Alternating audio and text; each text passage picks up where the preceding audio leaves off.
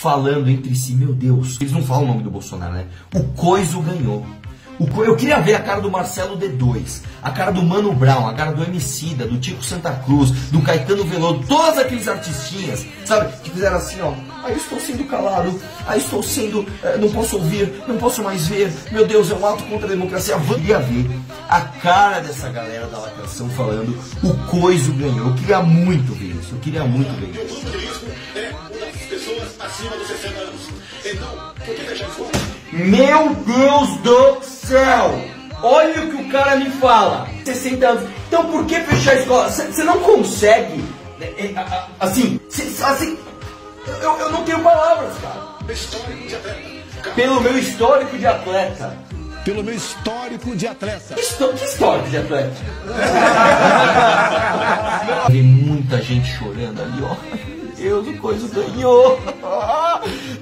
Da minha vida? Ai, meu Deus, agora ferrou. O Brasil vai ter um monte de nazista na rua. Que não sei o que, acabou a democracia, acabou. O presidente da república prometer vaga na Suprema Corte do seu país do Procurador-Geral da República que o investiga. Você tem noção do que? Você tem noção do que, que é isso? Bolsonaro é um homem honesto que vai servir de porta, vai servir de caminho para que a gente mude estruturalmente o nosso país. Eu, Lógico que é filho meu, pretendo beneficiar o filho meu, sim, pretendo. é, é mito, é mito. Cara, você tem noção do que ele tá fazendo? Nem o PT fez isso. Nem o PT chegou a esse ponto, cara. Que absurdo completo. O que, que vai ser da minha vida? Ai, meu Deus. nosso país, acabar com o aparelhamento em diversos cargos comissionados durante muito tempo o PT teve acesso, infelizmente, a E o PT, hein? teve lá E sua Lula? base militando e trabalhando com o PT, utilizando dinheiro público, com a gente financiando, acabar também com essa base de sindicatos que não representam Aliás, trabalhadores. A promessa de campanha do Bolsonaro era cortar 30% dos cargos. Ele não cortou nem na cozinha dele, nem no Palácio do Planalto ele cortou. Ele mantém como assistente ali do- da- assessoria especial da presidência mais assessores do que Lula, Dilma, Temer. Ele é o presidente com o maior número de assessores especiais da presidência, que é um bando de aspone, né? Onde fica o gabinete do ódio. Olha, isso mesmo, meus amiguinhos. Pois é. Já tá aumentando, falaram que era 12. Falaram que era 12. Se eu fosse japonês, nunca morreria de araquiri.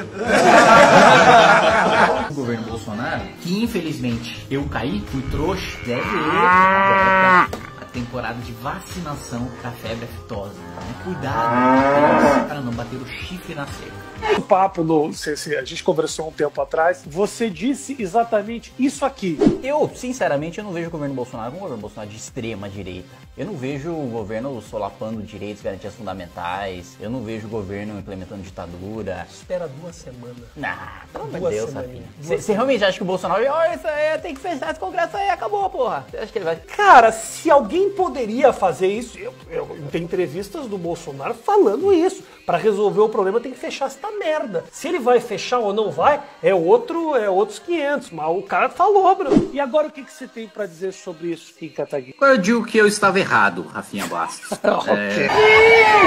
Ele sim! Ele sim! Uh! 17 15,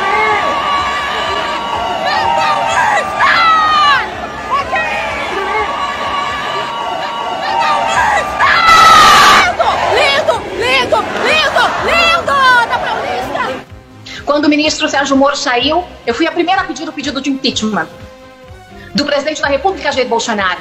É o melhor caminho? Não, o melhor seria a renúncia. O melhor para esse país seria a renúncia. Mas ele não ama esse país e não tem responsabilidade com esse país. Até que ponto Jair Bolsonaro pode flertar com o fascismo uma vez no poder? Ponto nenhum. Eu não vejo a menor possibilidade disso acontecer. Até onde vai o compromisso de Jair Bolsonaro com a democracia, na sua visão? 100% compromissado? Posso te mostrar essa mesma gravação daqui a um ano? Deve. Deve. Eu não esqueço do que eu falo também. Essa gravação não vai virar uma ironia no futuro. Pode ter certeza que não. Isso já aconteceu com muitos personagens. Eu não sou outros personagens. Fui líder do governo no Congresso Nacional, representante direta do presidente da República na Câmara e no Senado durante oito meses. Eu vi tudo o que aconteceu e como aconteceu. Crimes de máquinas de fake news, crimes de rachadinhas, crimes de financiamentos de protestos antidemocráticos que atacam diretamente a democracia brasileira? Sou Joyce Hasselman, tô aqui do lado desse homem, ó, Jair Messias Bolsonaro, rodando esse estado e esse país. Esse bando de gente maluca, né? Que fica atrás, mito, mito, é mito. Ah, Olha aqui, gente, eu gritei muitas vezes mito e acreditei que fosse. Mas não é! Não é mito coisa nenhuma, nem aqui nem na China. Ah, Não é, desculpa, não é. Até o último meus dias, não permitirei que, infelizmente, esse presidente que eu ajudei a eleger se torne mais um ditador na América Latina.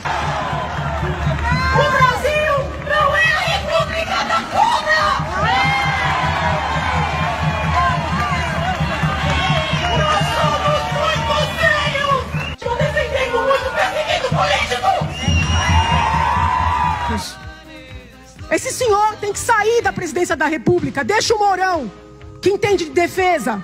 Eu me arrependi do meu voto. Que país é esse? Como é que esse homem vai lá? Potencialmente contaminando as pessoas, pegando nas mãos, beijando. Ele tá brincando? Ele acha que ele pode tudo? Uma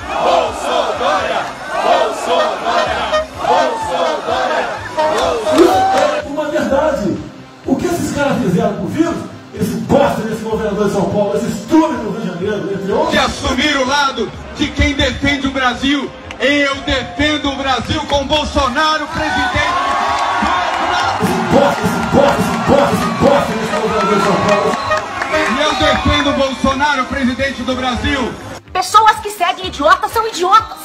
Acordem, pelo amor de Deus. Saia dessa sua redoma de Brasília e venha visitar comigo o Hospital das Clínicas. Saia da sua bolha, presidente Bolsonaro. Saia dessa sua fábula. Saia do seu mundinho de ódio. Bolsonaro, presidente do Brasil! Alô,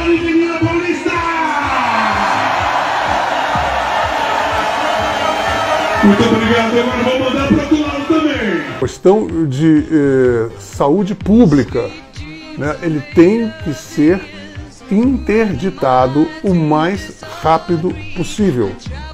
Olha, isso aqui virou um hospício, né? Virou um hospício e cabe a todos nós agora é o seguinte: a gente tem obrigação, principalmente nós que colocamos, ajudamos a colocar esse fascínio no poder.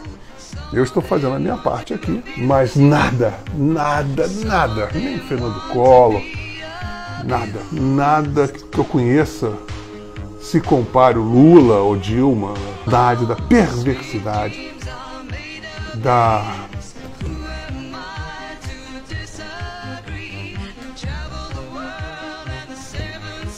obtusidade do Bolsonaro. E outra coisa, eles estão apertando o cerco porque eles vão querer dar um golpe, evidentemente. Eu não quero mais saber. Tá entendendo? E outra coisa, você não está agindo contra os bandidos. Você vê o crime, eles cometem o crime, você os presencia em flagrante e não faz nada contra eles. Isso é, chama-se prevaricação. Quer levar um processo de prevaricação da minha parte? É? O pessoal não consegue derrubar o seu governo, eu derrubo. Continue inativo, continue covarde, eu derrubo essa merda desse seu governo. Aconselhado por generais covardes ou vendidos. perguntar isso a ele, né? Aliás, ele não sabe nem do Queiroz, ele não sabe que quem comandou a tal da rachadinha, ele não sabe que a Terra é redonda, segundo o guru dele a Terra é plana, né? Ele não sabe que tem desmatamento. O senhor era menos promíscuo quando só fazia filme pornô. É. Hoje em dia, essa promiscuidade nós Mas do você assistiu inteiro. muito, né? Não, nem um pouco. isso aqui um é- isso aqui é hora de pergunta. Nem um pouco. Eu sei que você Aproveite. gosta. Significa. Aproveite seus momentos. Quatro anos passam. Afinal, ele jurou que iria trabalhar pelo povo brasileiro, sem viés ideológico e que iria governar para todos. Eu também acreditei nisso, infelizmente. Valeu, tchau.